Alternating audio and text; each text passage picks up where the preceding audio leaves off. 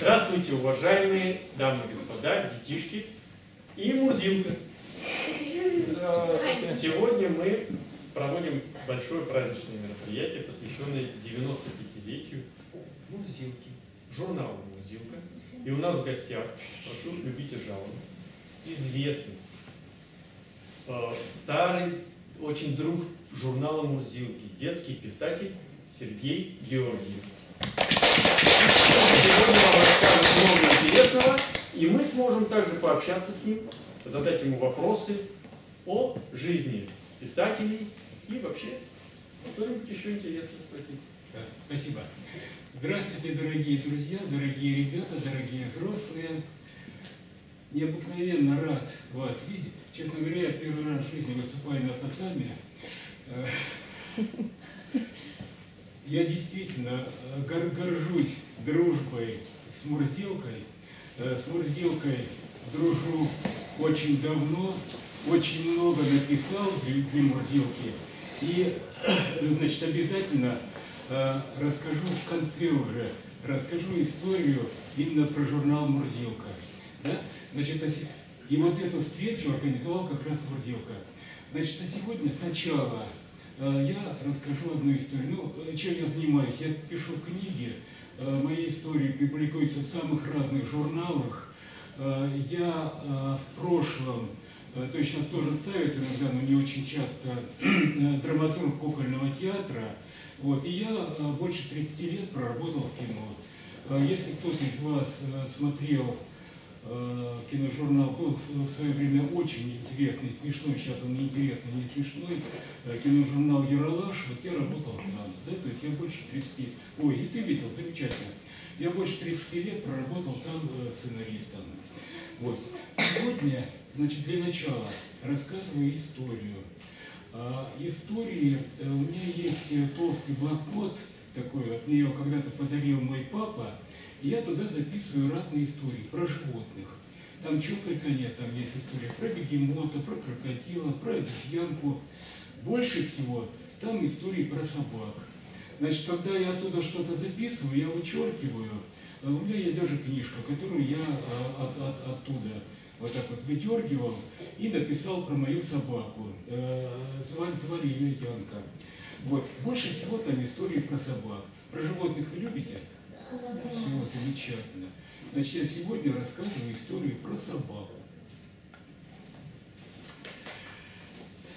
Да. Значит, у меня, ну, я всегда жил в доме, где э, были собаки. Я родился, где была собака моего папы, огромная немецкая овчарка. У меня были свои собаки. И вот, э, грустно говорить об этом, э, собаки живут гораздо меньше, чем люди. Вот я всех моих собак помню, все они были чудесные. Значит, вот в доме у меня появилась новая собака.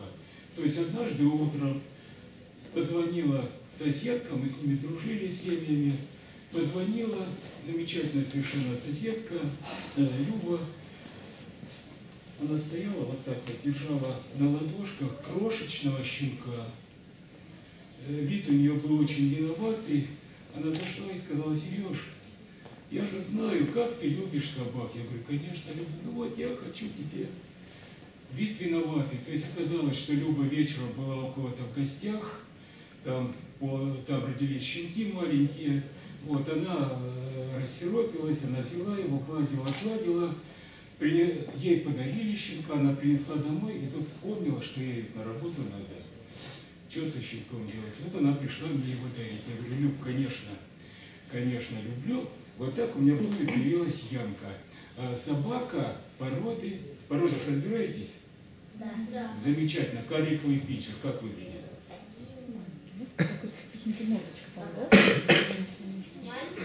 Маленькая, то есть вот такого вот размера. Значит, бывает всего двух цветов каких? Э, черная и темно-коричневая, палевые называют, да? Значит, острые треугольные ушки, сияющие глазки такие круглые, э, остренькая мордочка, кажется, что всегда улыбается. Значит, сия... да, Люба сказала, значит, когда я сказал, да, конечно, я люблю, спасибо за такой подарок чудесный, Люба обрадовалась и сказала, только одно условие, у нее уже есть имя. Собаку зовут Янка. Чудесное имя, замечательно. Значит, с Янкой мы подружились сразу, очень быстро подружились. А, Она полюбила, я ей варил э, суп- супы пакетные, она их сразу очень полюбила. Мы с ней выходили гулять, э, ходили на речку. Э, Было, было лето, все было замечательно. Она у меня быстро росла. А потом наступила осень. И вот тут-то я понял, что проблемы и у меня, не только у Любы, но и у меня. Я в то время работал в институте, преподавал в институте. Значит, я понял, что надо будет уходить и оставлять Янку дома. Я решил с ней поговорить. Собака необыкновенная умная. Я говорю, Яна, иди сюда. Она пришла, села вот так вот и слушает. Я говорю, Янка, останешься дома одна? Я говорю, только, значит, давай договоримся. Со спичками не баловаться. Телефон будет звонить не грубинник. В общем, я приду, сразу же мы с тобой пойдем гулять, все будет нормально. Да сиди только вот пока я на работе. Ну все, договорились, собака очень умная. Я так и сделал. Значит, первый день, когда мне надо было идти на работу, я налил ей молочка, я ей сварил супик, оставил. Говорю, ушел, прихожу, красавица, запрыгнула. Она у меня здорово так вот это самое, она когда радовалась, она прыгала вот как э, баскетбольный мячик ч- четырьмя лапами вот так вот. Ой, запрыгала. Смотрю, в квартире все нормально, порядок, да, значит, э, молочко выпила, супик съела, все хорошо. Пошли гулять. Так прошло несколько дней. И вот однажды, возвращаюсь я с работы, смотрю, подъезда дожидается меня сосед. Ну, видно, что вот он это самое ходит, высматривает, э, делать ему нечего. Э, Я подхожу поближе, значит, тут он, ах, встрепенулся и говорит, ой, как хорошо, что я тебя встретил. Я, ну, я понимаю, что что-то такой какой-то нехороший, видимо, разговор. Ой, говорит, как хорошо, что я тебя встретил. Я говорю, да, ну я, я, тоже рад. Он говорит, а ты знаешь, что в нашем доме, у нас 16-этажный был дом, а ты знаешь, что у нас скоро э, никого не останется, все разбегутся? Я говорю, почему? Что, что, что такое случилось? Да, говорит, ерунда. Да что, ну что, мы с тобой останемся. Я, я, я, я, говорит, не убегу. Я говорю, что такое случилось? Да, говорит, ерунда. Собака твоя воет. Я говорю, как собака воет? Да, да, говорит, нормально так, вот как собака баскервилей. А так, и показал.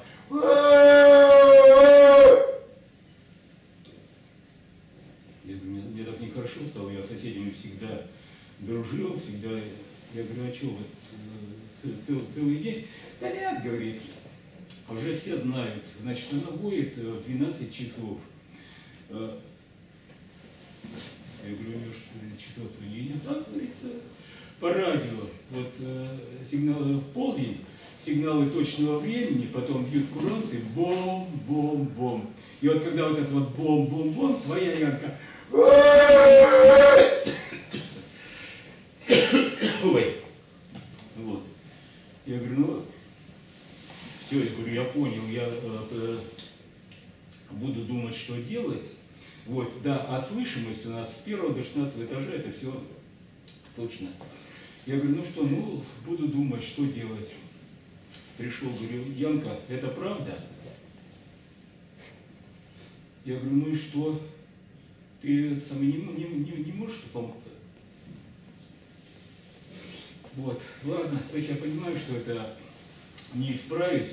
Я оставлял э, включенным, э, э, т- тогда э, советовали, оставляйте включенным э, сетевой приемничек, да, то есть, ну, на- на- на- наивная такая была, э, э, воры придут, услышат, да, помните, да, вот, э, услышат, что в доме радио работает, да, и они, они не полезут.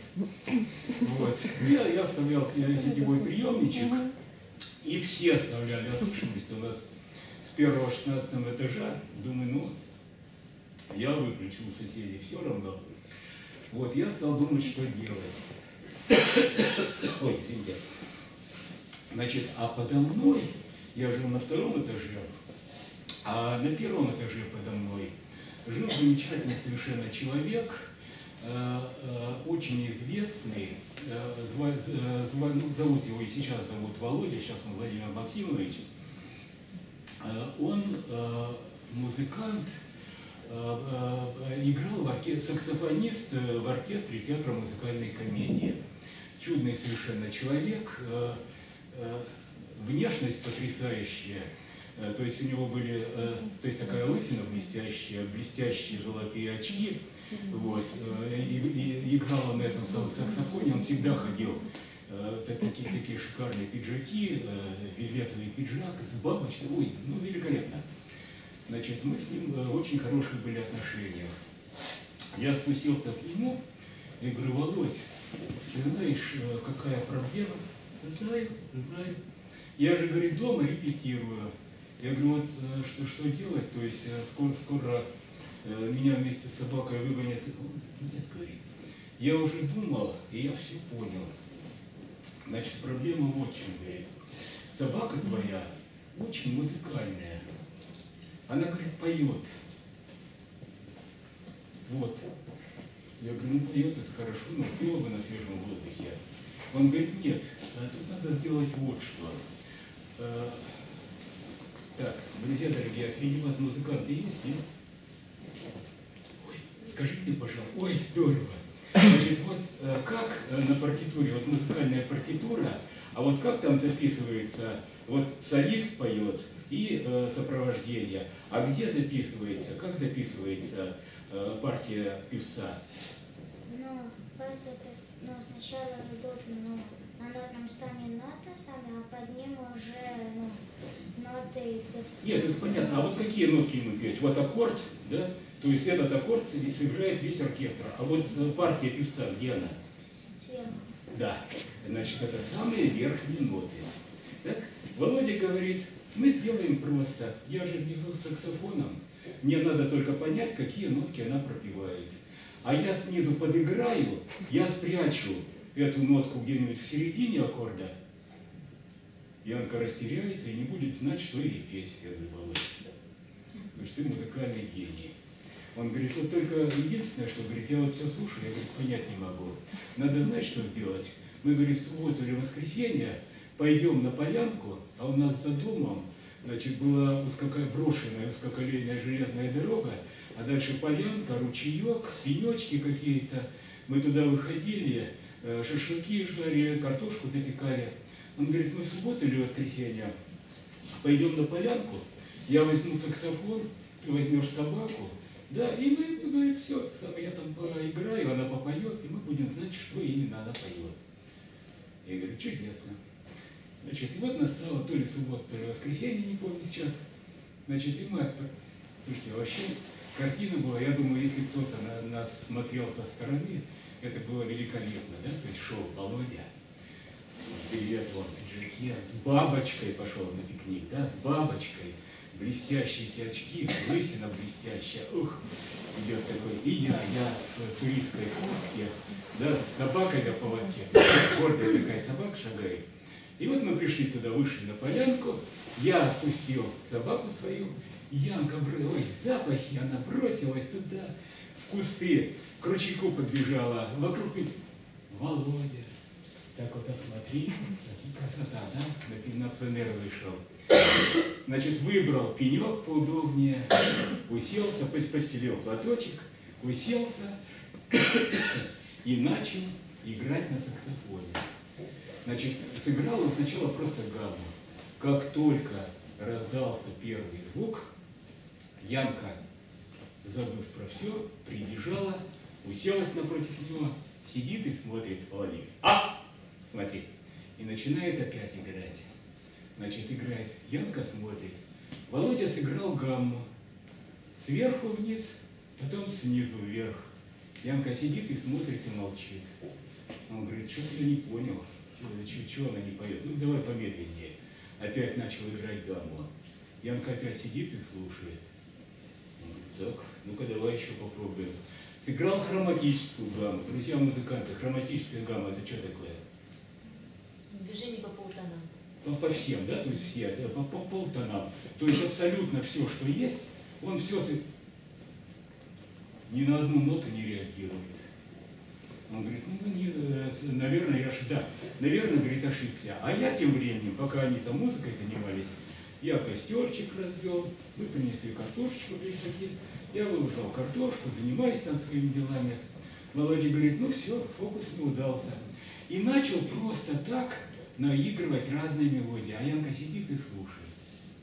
И вот Володя дошел до одной мелодии. Пе- Певец у меня не какой-то, сегодня я еще без голоса, да? Ну, примерно это выглядело так. Он начал играть. Саксофон другой, клад- кладущий звук. Значит, он стал играть. Куа-куа-куа-куа-куа. Куа-куа-ка-куа, куа-куа-куа. Янка вдруг вскочила, вся напружинилась вот так вот четырьмя лапами, шерсть стала дыбом. Да.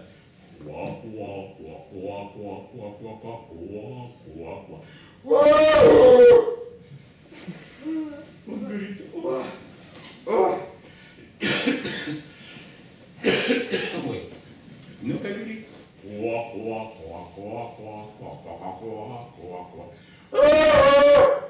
все, все, все, все, говорит, поняли. И отставляют саксофон. Янка посмотрела на него строго очень. Потом подошла поближе, схватила за штанину зубами и вот так вот стала трясти. Он говорит, Янка, я понял, все, сейчас. И опять. Ква-ква-ква-ква-ква. И вот так вот они пели и играли до вечера. Картошка у меня уже готова. Я говорю, Володь, ну, давай это самое, что мы зря что ли? Он говорит, ага, а тогда ты бери саксофон и, и играй со своей собакой. Все, все. Короче, э, уже вечер приближается, я вытащил всю картошку, она остыла, я ее сложил обратно в рюкзачок, и вот мы идем обратно, ну идите там э, три, три минуты, идем обратно домой. Идем и ну, болтаем глупости. Володя говорит, все, я завтра увольняюсь из театра музыкальной комедии. Я говорю, чего так? Он говорит, а ты представь себе, ну ты сам собаку-то мою э, свою дашь мне? Да. Я, говорю, смотря для чего? «Э, он говорит, для хорошего дела. Мы с ней покорим весь мир. Рим, Париж, Токио, все будут у наших ног. Ты, говорит, представь себе только, лучшие залы мира. И вот на залитую светом сцену выхожу я во фраке, блестящий саксофон, блестящие очки, да? И твоя собака выходит во фраке. Я говорю, а что-то она во фраке? Она девочка все-таки. Ладно, говорит, я выхожу во фраке, а твоя собака в вечернем бархатном платье, да, с кружевами. И вот мы выходим, я начинаю играть. Да-да-да. Я говорю, ну все, да, то есть весь мир у ваших ног. А собака идет и слушает. Ну вот, короче, болтали глупости, пришли домой, зашли сначала к Володе, я ему честно отсыпал половину картошки, потом мы поднялись с Янкой к нам, Значит, Янка едва зашла, у нее у порога лежал такой э, матрасик, э, э, ну, ее спальное место. Значит, она зашла и, как цыпленок табака, вот так вот, да? Ну ну целый день пела. Вот, я прошел, сделал, сделал свои дела, картошку выложил на кухню, значит, а дальше, а дальше зашел в комнату, у меня там стоял письменный стол, а мне надо было готовиться, у меня студенты. Значит, э, я э, уселся за стол, э, разложил свои бумаги, а я очень люблю работать, когда какая-нибудь музыка тихо играет. Я включил сетевой приемничек, да, там э, три программы, нашел музыку, сижу и работаю. Стемнело. Я, э, значит, работаю, а ямку мне видно через дверь, вот э, видно вход э, в э, коридор, и э, я, я ямку на коврике. Я сижу, работаю, гляну так вот ямки. Лежит, ну, думаю, устала, все нормально, все хорошо. Значит, заработался, и вдруг я понял, что в квартире происходит что-то такое, чего быть не могло. Я оторвался от бумаг, и вдруг у меня все похолодело, вот сердце охнуло туда, да? Значит, я понял, что происходит. В квартире стояла гробовая тишина. А это, а у меня приемник-то включен, да? А гробовая тишина была несколько мгновений перед тем, как э, радио заканчивало э, свою работу, да, э, диктор прощалась с, с радиослушателями, а что было потом? А потом был аккуранты. Бом, бом, бом. А на куранте собака моя пела. Да, было это обычно в 2 часа ночи. Значит, а на куранте собака моя пела. Я понял, что сейчас произойдет. Сейчас, ну, ну, днем, когда пела, жители просто разбежаться хотели, а тут два часа ночи вот такой концерт. Я вскочил, протянул руку, чтобы выключить приемник, и не успел. Значит, из радио донеслось на всю квартиру. Бом, бом, бом. Ну, я понял, что уже спасти ничего нельзя. Я застыл вот так вот, как соляной стол, и посмотрел на собаку. Значит, из радио прозвучало бом, бом. Собака моя лежала вот так вот. Тут она вскочила на четырех лапах, напружинилась. Шерсть у нее стала дыбом. Янка набрала полный грудь воздуха, а потом и вот так вот выдохнула. И все. Собака моя больше никогда не пела. Я до сих пор не знаю, что произошло. То ли ее Володя уработал так, что уже, да, нет, но я себя тешу другой мыслью. Да, то есть вот когда мы шли по дороге и болтали, да, Володя говорил, ты мне дашь, я ее в Токио повезу, я ее в Рим повезу, в Париже выступлю, да? Я ему говорил только, ну, знаешь, это самое там, на травку надо вывести, да, есть надо покормить. Ну, да там, э, в- это самое, это газонов в Париже полно, выведу. Да, да там бутерброд, вот. А Янка-то моя, это я тебе себя тешу мыслью, все всерьез приняла, да, и она, а мы с ней подружились, и она не захотела бросать своего друга, да, то есть она решила остаться со мной. Вот такая у меня была собака. Спасибо.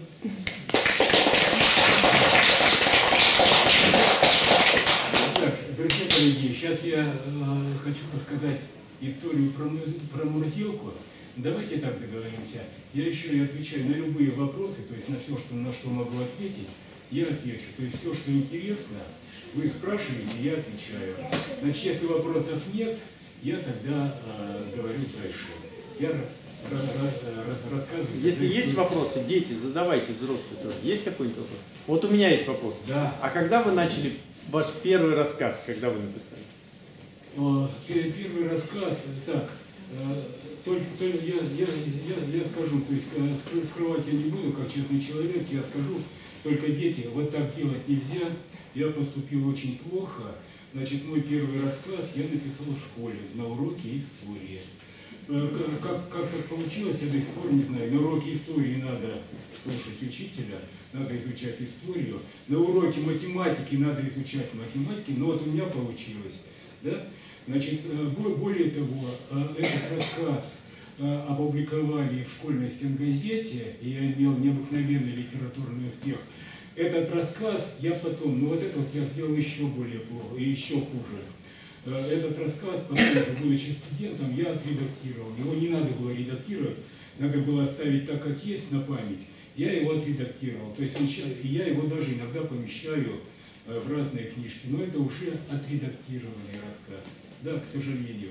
А вот тот вот корявый рассказ шестиклассника, э, вот он, к сожалению, сохранился. Хотя в школьной стенгазете, значит, его э, напечатали на машинке, у нас шикарная была стенгазета, метров шесть, наверное, в длину, да. Ой, там много чего было. Она два раза в год выходила про праздником. То есть вот эта вот газета была 23 февраля. Вот. И э, печатали на машинке, и второй экземпляр отдавали автору. Так что вот он у меня, да, проходите, он у меня сохранился. Вот.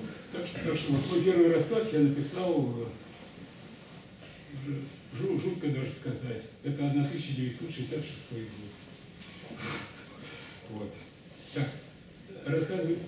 Да, конечно. А можно спросить, а, а, а, вопрос, а, как, как- а когда сам сформировался а, Мур, Мурзилка? Мурзилка.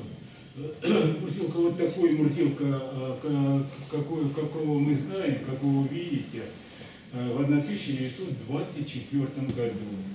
Да, то есть очень-очень-очень давно. А до этого, а до этого, значит, были, э, то есть Му- Мурзилка был и раньше, но это совсем не такой был Мурзилка. Э, Был американский Мурзилка, э, Па- Па- Палмер Кокс, э, э, комиксы. Значит, а потом э, на русском языке э, Александр Хвальсон э, писала истории про Мурзилки, про Мурзилку. Ну, э, взро- взро- взрослые, наверное, знают, что означает Мурзилка, да? Или не говорить детям? Говорить?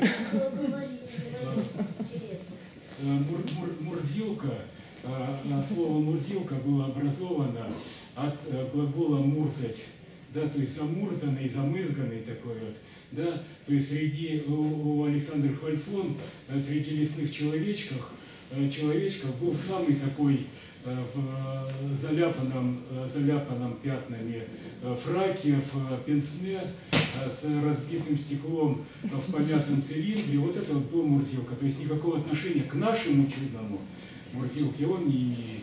А э, наш Мурзилка, вот тот, э, который, это сначала была собачка. Э, Первого, первого Мурзилку нарисовал, э, э, на- нарисовали как, э, как э, собачку. А вот э, Мурзи- Мурзилку вот этого нарисовал э, художник замечательный Минодав Коневский. Про Мурзилку все? Рассказываю историю Да. Значит, как я подружился с Мурзилкой. А, Значит, у меня были э, две бабушки, которых я очень любил. А одна бабушка была просто со- со- совершенное чудо, зва- звали ее Таисия Евдокимовна. Э, э, Она необыкновенно э, читала, читала книжки. То есть это у меня было самое любимое занятие. Она еще до революции закончила классическую женскую гимназию, и э, там ее научили. То есть она э, очень, очень здорово читала, вот как э, настоящая, настоящая актриса. И я очень любил, она мне позволяла сбросить тапочки, забраться с ногами на диван, я к ней прижимался, она меня вот так вот тоже одной рукой прижимала, э, книжку держала и читала. Вот большего наслаждения у меня не было. А потом мы с родителями с младшим братом э, поехали в Сочи. И там я научился двум вещам. Я научился плакать и читать. А бабушка-то этого не знала, мы вернулись, да? Э, Родители знали, что я уже умею читать. Я перед бабушкой похвастался. Я э, плавать умею. Ой, ну молодец, здорово совершенно. А э, прочитать, э, я, я, я подумал, ну вот я, я ехал и терзался, то есть мне хотелось и похвастаться, да? А с другой стороны я думал, ну вот я э, скажу бабушке, почитай мне, пожалуйста. Она мне скажет, ну ты же сам умеешь. Зачем я буду? Да, и я лишусь такого удовольствия. Вот.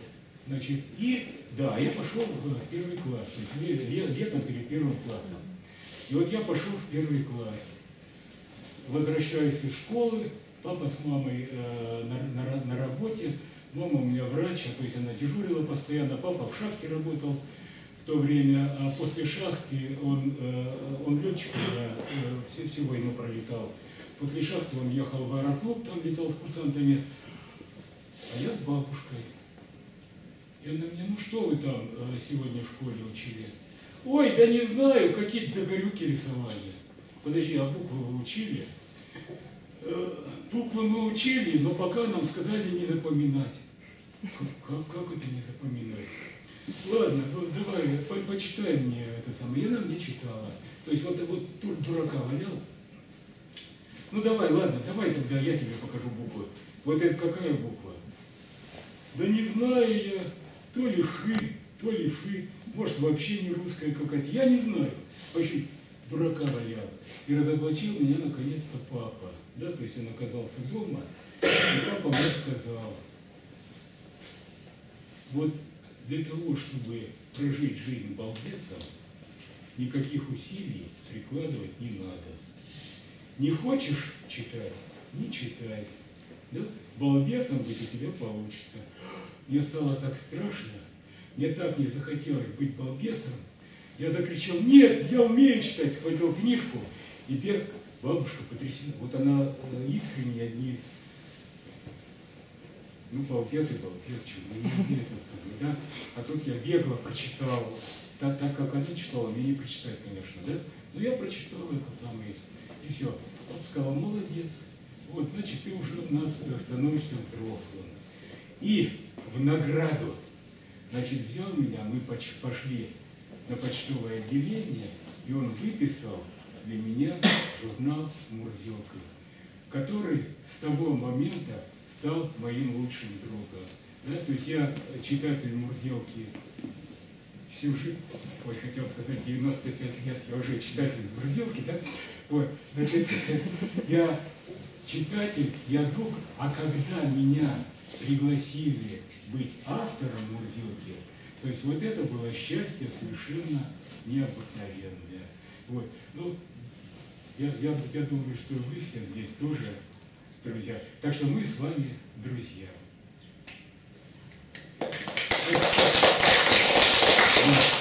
Спасибо большое. Да, да, да, да, да, давай, давайте вопросы. Я что-то боюсь, у меня сел, сел голос, я боюсь, уже чего-то еще. То давайте просто отвечаю на вопросы. И э, после да, э, вы получите чудесные подарки сегодня. То есть здесь и журнал «Мобилка», и еще там чего-то есть. Да. Спросить, что ты хочешь? Нет? А вот можно вас, как да. родитель, сказать, что вы можете сказать нашим деткам, подрастающему поколению? Вот они не понимают, к сожалению, в нашем современном мире, почему именно нужно так любить читать. Мы, взрослые, понимаем, а вот дети, многие знают книги, но не понимают цену книгам, к сожалению, в наше время. Вот что вы можете с, на, с высоты своего опыта и мастерства ребятам посоветовать, чтобы вот они хоть ну, как бы ну, вот как-то прильнули еще больше книгам. Да, да, я, я, я понял. Значит, э, дело в том, что э, вот, вот здесь как раз э, советы не подействуют. То есть рационально не объяснить. То есть ребенка можно только заинтересовать. Да? А, я еще про один журнал скажу, просто, просто мой личный опыт. Значит, к, к, к сожалению, у этого журнала а, дела сейчас очень плохи, это журнал «Веселые картинки».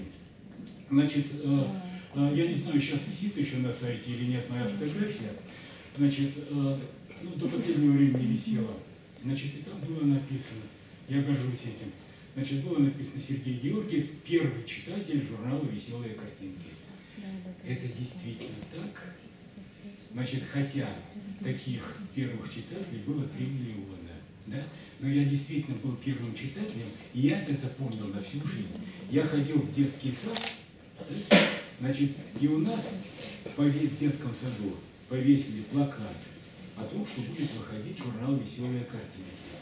И воспитательница нам рассказывала, говорила, вот, а, она говорила, Сереж, вот будет новый журнал, да, и там летит.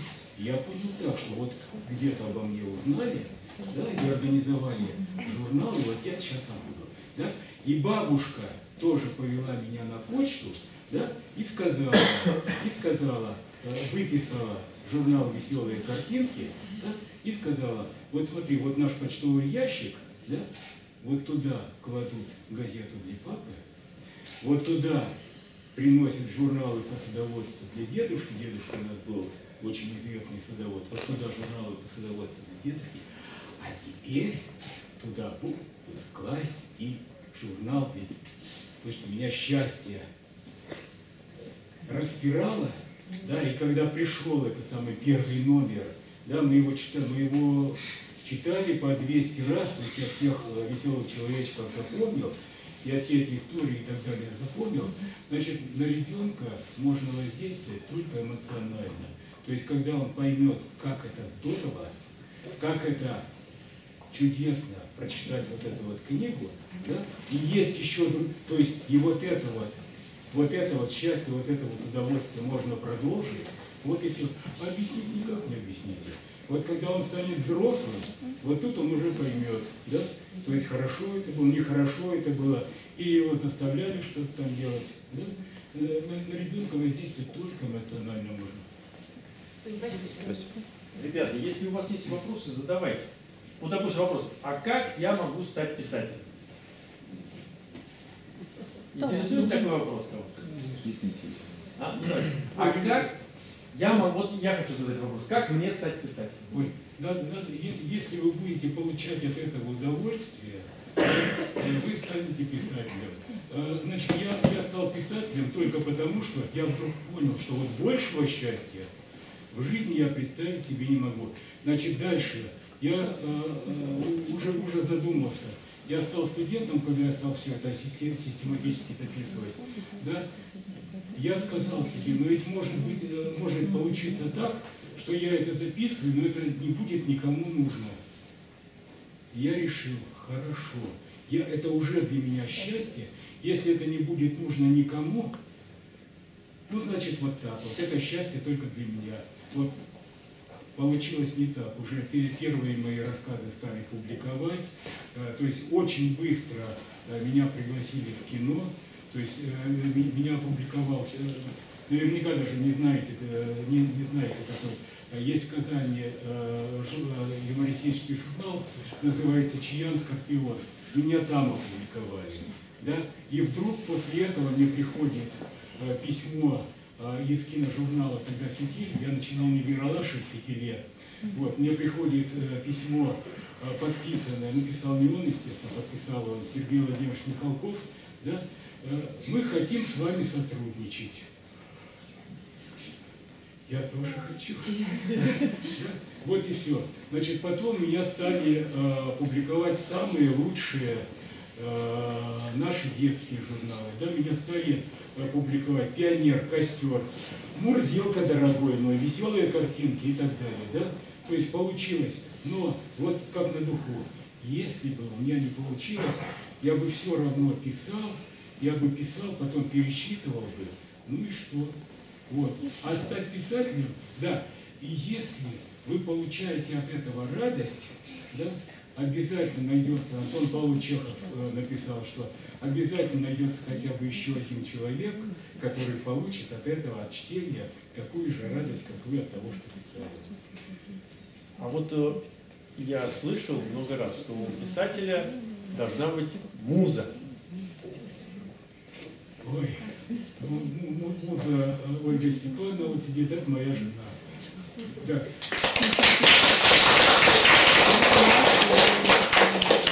Значит, э, до, до, до, до Степановны э, я мои рассказы читал моей собаке Янке. Она, э, она была, слушайте, вкус у нее литературный потрясающий. Да? Она сидела и внимательно слушала. Я по ее реакции понимал, хорошо я написал или нехорошо. Так, давай твой вопрос. 95, вот юбилей уже в этом году. Представляешь, 95 лет, ничего себе, да?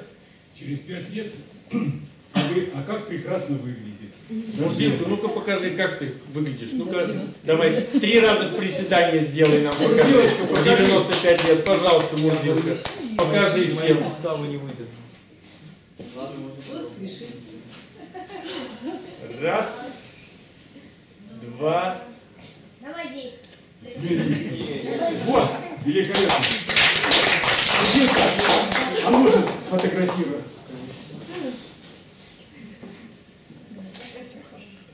Спасибо. Перечитали свой первый рассказ.